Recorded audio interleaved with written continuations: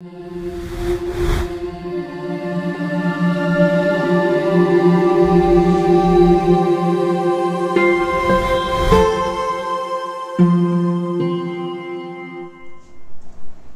everyone, it's Caribbean E. Welcome to the channel. Hope everybody's just having a wonderful and a splendid, marvelous day and that things are going your way and that you're in the best of health. Today I'm just coming simply with a, another update. Uh, COVID-19 in the Dominican Republic. As of Sunday, as of Sunday, 345 new positive cases and nine new deaths are due to COVID-19 in the Dominican Republic. Uh, these uh, this death, these nine deaths, and these positive cases were registered in the Dominican Republic, bringing the number to 4,688 infected cases, and the death toll now is now 226. 226. Um, there's, a lot of people, but it's nowhere near the numbers in New York and other places in the United States and also in other countries, uh, especially China and Italy, and possibly Spain.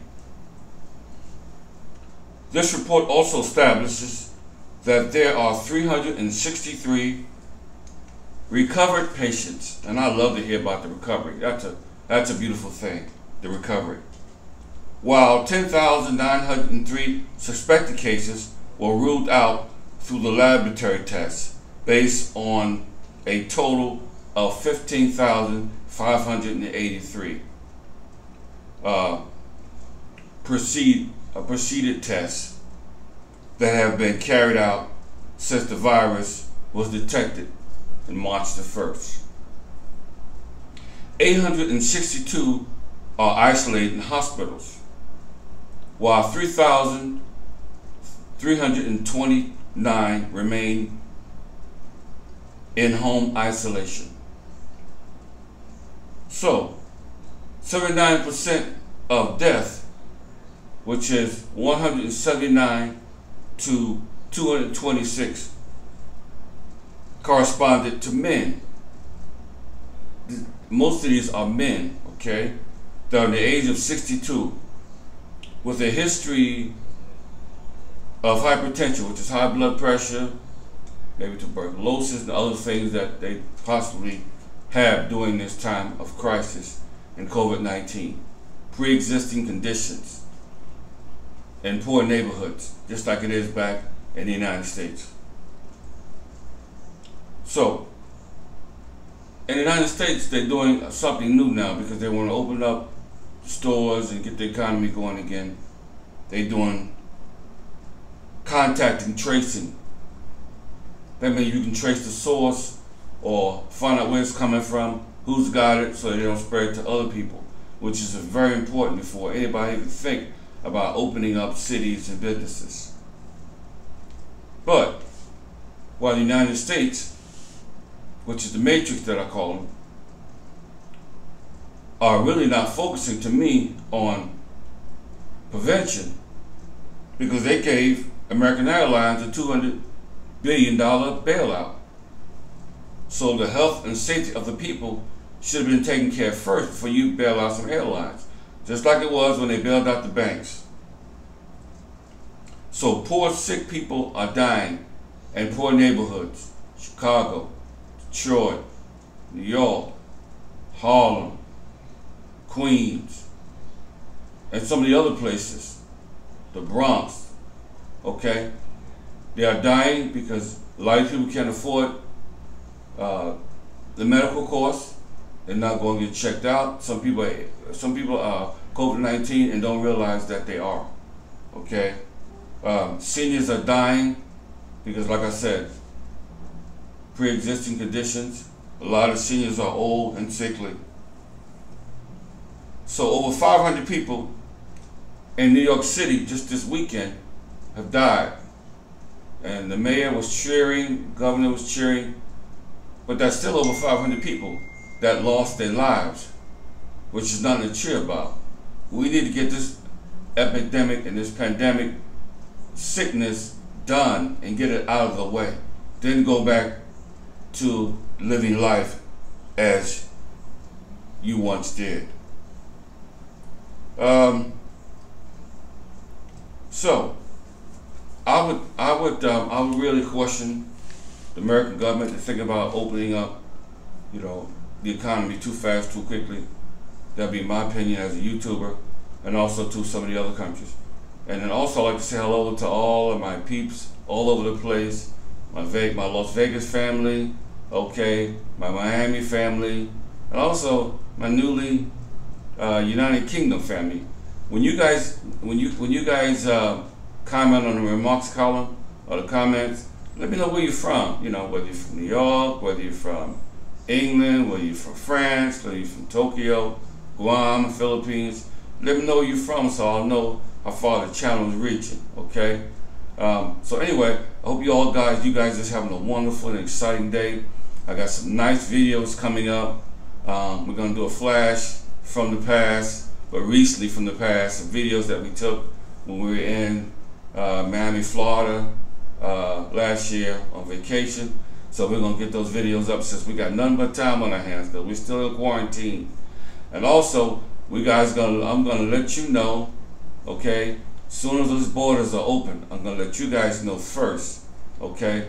Uh, the president talked to us again Friday, let us know that all the restrictions will remain in place, but he also threatened those that are still uh, want to be rebellion and hang out and drink their beer or hang out on the streets. They're still getting arrested, and he's saying if they don't uh, curb their behavior, stay indoors while the curfew is in place, then he's going to lock down a 24-hour curfew. And I think that's really highly unlikely because you know you got the seniors that's got to go out and get their medication. You got people that's got to go shopping, people that go to the bank, people that's go get some groceries. So um, they're just trying to make sure that people don't be just wandering, hanging around on the street, act like this is a big party. When the epidemic in Dominican Republic, as soon as they get a hold of this thing, but thank God that we didn't, we're not losing that many people as they're losing in the matrix. Okay, but still no, they want to get that number down because if that number climbs, we're in big trouble. We want people to come to the island, want you guys to be safe, want you guys to have fun, and you that want to come to the resort um, and get to the resort thing, I'm gonna let you guys know soon as the borders are open. Soon as the borders are open, because we're gonna be leaving too. I need a break from the island. I live here, okay? so I need a little break. So we're gonna spend some time maybe in Puerto Rico, you know, or go to the United States for a minute, see the family, you know, whatever. Okay. But anyway, um, like I said, I hope you guys really in good shape, and I hope you guys just got that stimulus, that bailout. You took it and used it for the right purposes, for the right things. Um, make sure your rent is paid. Make sure your bills are paid because that's basically what it's for, and that you guys are in good shape, um, and that you're just doing the right thing. That's what it's all about. So um, I just wanted to give you guys an update of COVID-19 and what's happening in Dominican Republic. Again, it's still a beautiful country. It's beautiful outside. The weather is getting just even more marvelous. Okay, it's going to be, I think, uh, 95 today. All this week will be in the 90s. At night, it gets to 71 degrees. I'm telling you, if you're thinking about coming to the Dominican Republic, and all this is over, or you're thinking about living here, moving here, you're doing the right thing. The economy is good. Um, everything is great. Everything is doable. You can put lots of money away per month because we're doing it. Okay, and it's just it's just a beautiful place to be.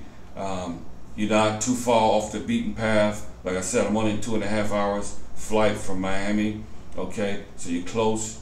You know, you, you're close, but not too close. And I like that. Okay, still a foreign country, um, but it's a Spanish-speaking country. So if you don't know Spanish, you might want to practice up your Spanish before you get here, so you pretty much know what you're dealing with, what you're facing. I want you, and, and if, whatever questions that you guys have, look at some of my prior videos. Uh, it'll tell you what to expect when you get here. It'll tell you about the cost of living.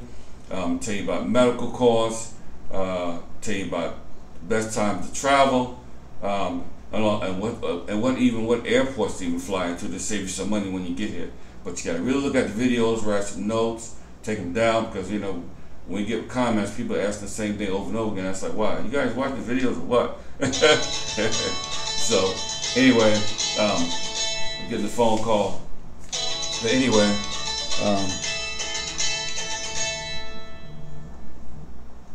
so anyway, um, busy, busy, busy all the time. People wait till I start making videos and they want to call and I contact and tell them, you know, if you need something, get with me before I start doing my videos, so you'll be interrupting me. But anyway, um, you got the information. COVID 19 will continue to keep you updated as things change in the country, so you'll know how we're doing here. But like I said, we got a whole lot lower deaths than they have in the Matrix. So, in the meantime, between the time, remember life is to be enjoyed. Continue to subscribe to the channel, hit that subscription notification, and guess what? We'll see you on the next video. Peace.